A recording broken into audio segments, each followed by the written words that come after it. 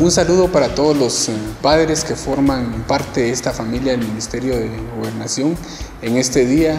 Espero que ustedes eh, la estén pasando muy bien y que tengan la fortaleza, la sabiduría para seguir adelante en esta doble labor que desarrollan como servidores públicos, pero también como líderes de un hogar a través del cual inculcan valores, principios a toda una familia, lo cual se ve representado en la construcción de un mejor país. Dios los bendiga, que les dé mucha felicidad en este día, que puedan compartir con sus compañeros, compañeras de trabajo, pero especialmente con esa familia que les da la fuerza para seguir adelante.